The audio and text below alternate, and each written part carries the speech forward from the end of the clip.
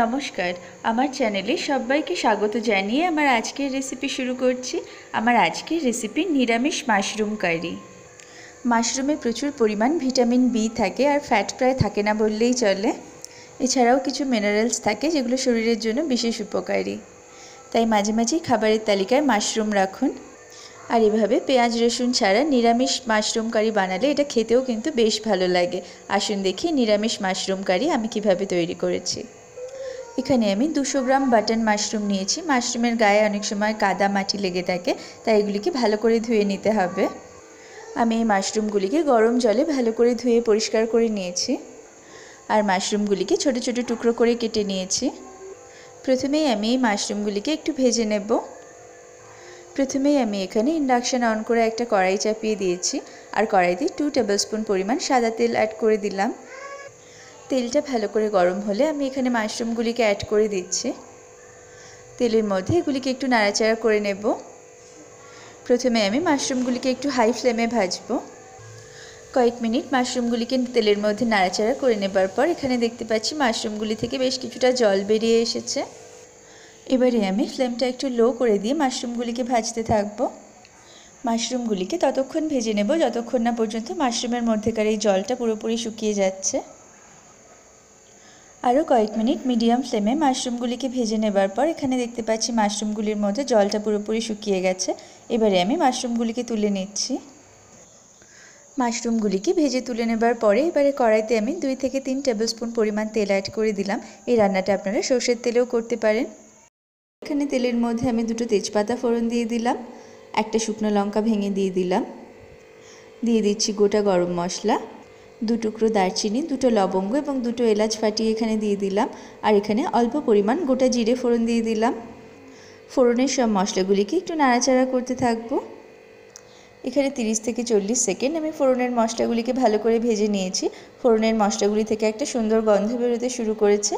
এবারে আমি একটা মাঝারি সাইজের আলু এভাবে ডুমো ডুমো করে কেটে রেখেছিলাম, সেটা এখানে দিয়ে দিলাম। তেলের মধ্যে আলুগুলিকে একটু নাড়াচাড়া করতে থাকব। আলুগুলিকে একটু ভালো করে ভেজে নিতে হবে। আলুগুলি যতক্ষণ ভাজা হচ্ছে, ওদিকে আমি ততক্ষণে একটা মশলার মিক্স তৈরি করে নেব।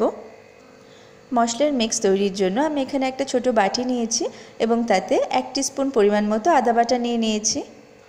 এবারে এতে দিয়ে দিচ্ছি এক স্পুন পরিমাণ জিরে গুঁড়ো আর তার সাথে দিয়ে দিচ্ছি হাফ টিস্পুন পরিমাণ ধনে গুঁড়ো। হাফ টিস্পুনের একটু কম পরিমাণ শুকনো লঙ্কার গুঁড়ো এখানে দিয়ে দিলাম। হাফ কাপ পরিমাণ মতো জল অ্যাড করে দিচ্ছি। এবারে চামচ দিয়ে ভালো করে মিশিয়ে নেব। সব উপকরণগুলোকে জলের মধ্যে ভালো করে গুলে নিয়েছি। এখানে আমার মশলার মিক্স রেডি হয়ে গেছে। এবারে এদিকে দেখতে পাচ্ছি আলুগুলো আমার মোটামুটি ভাজা হয়ে গেছে। এবারে এই মশলার মিক্সটা আমি এখানে দিয়ে দিচ্ছি। একটু নাড়াচাড়া করে নেব। এবারে আমি মাঝারি সাইজের একটা টমেটো কুচিয়ে এখানে দিয়ে দিলাম। আবারও ভালো করে নাড়াচাড়া করে নিচ্ছি। এবারে আমি এখানে স্বাদ অনুসারে লবণটা অ্যাড করে দিচ্ছি। এরপর আমি এখানে টু টিস্পুন পরিমাণ মতো চিনি অ্যাড করে দিচ্ছি। এই রেসিপিটার ক্ষেত্রে চিনিটা একটু বেশি ব্যবহার করা হয় তবে চাইলে চিনিটা আপনারা একটু কমও ব্যবহার করতে পারেন, আবার নাও ব্যবহার করতে পারেন। আবারও সব উপকরণগুলিকে ভালো করে মিশিয়ে নিলাম। সামান্য একটু জল অ্যাড করে দিলাম। দুটো কাঁচা লঙ্কা চিড়ে এখানে দিয়ে দিলাম। ঝালটা অবশ্যই আপনারা আপনাদের স্বাদ অনুসারে বুঝে দেবেন। মিনিট দুয়েক সব উপকরণগুলোকে একটু ভালো করে নাড়াচাড়া করে নিলাম। এবারে আমি পাঁচ মিনিটের জন্য মিডিয়াম ফ্লেমে কড়াইটি ঢাকা দিয়ে রান্না করব। পাঁচ মিনিট পরে কড়াইয়ের ঢাকনা খুলে নিলাম। এবারে আরও কয়েক মিনিট মশলাটাকে ভালো করে নাড়াচাড়া করে নেব। যতক্ষণ না পর্যন্ত জলটা শুকিয়ে গিয়ে তেল আলাদা হতে শুরু করছে। আরও কয়েক মিনিট মিডিয়াম ফ্লেমে আমি মশলাটাকে ভালো করে কষিয়ে নিয়েছি। এখানে জলটা পুরোপুরি শুকিয়ে গিয়ে তেল আলাদা হতে শুরু করেছে। ভেজে রাখা মাশরুমগুলিকে অ্যাড করে দিয়েছি। এবারে ভেজে রাখা মাশরুমগুলিকে আলু এবং বাকি মশলার সাথে ভালো করে কষিয়ে নেব। অনেকে মাশরুম না ভেজেও রান্না করেন, তবে মাশরুমগুলিকে একটু ভেজে নিলে এটার কাঁচা গন্ধটাও চলে যায় এবং খেতেও বেশি সফট এবং টেস্টি হয়। এখানে কয়েক মিনিট ধরে আমি মাশরুমটাকে মশলার সাথে ভালো করে কষিয়ে নিয়েছি। এবারে আমি এখানে জল অ্যাড করে দিচ্ছি। এখানে আমি দু কাপ পরিমাণ মতো গরম জল অ্যাড করে দিচ্ছি। একটু মিশিয়ে নেব। এর আগে আমি আপনাদের সাথে পেঁয়াজ, রসুন দিয়ে ঝাল ঝাল মাশরুম কষার রেসিপি শেয়ার করেছি। তবে আজকের রেসিপিটা একটু আলাদা। এই নিরামিষ মাশরুম কারিটা একটু মিষ্টি খেতে হয়। তবে যারা রান্নায় মিষ্টি খান না, তারা চিনি ছাড়াই এই মাশরুমের রেসিপিটা বানাতে পারেন। সেটাও কিন্তু খেতে বেশ ভালো হয়। আর এছাড়াও আমি চিলি মাশরুমের রেসিপিও আপনাদের সাথে শেয়ার করেছি। নিচের ডেসক্রিপশান বক্সে আপনারা এই রেসিপিগুলোর লিঙ্ক পেয়ে যাবেন। কয়েক মিনিটের মধ্যেই এখানে দেখতে পাচ্ছি গ্রেভিটা ফুটতে শুরু করেছে। এবারে আমি মিডিয়াম ফ্লেমে দশ মিনিটের জন্য কড়াইটা ঢাকা দিয়ে রান্না করব। দশ মিনিট পরে কড়াইয়ে ঢাকনা খুলে নিলাম। এবারে এখানে দেখতে পাচ্ছি ঝোলটা বেশ ঘন হয়ে এসেছে। আলুগুলিও পুরোপুরি সিদ্ধ হয়ে গেছে। মাশরুমগুলিও বেশ সফট হয়ে গেছে। আপনারা একটু টেস্ট করে দেখে নিতে পারেন লবণ মিষ্টি ঝালটা ঠিক আছে কিনা। এবারে নামানোর আগে আমি এখানে এক স্পুন পরিমাণ ঘি অ্যাড করে দিচ্ছি। আর তার সাথে ওয়ান থার্ড স্পুন পরিমাণ মতো গরম মশলার গুঁড়ো এখানে অ্যাড করে দিচ্ছি।